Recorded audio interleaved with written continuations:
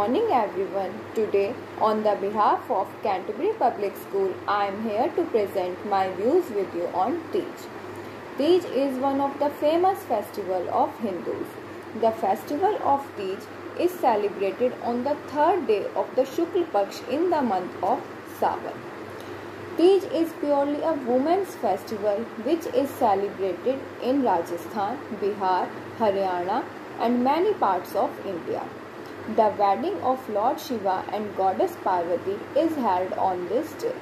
On the day of Teej, married women fast throughout the day and sing Teej songs.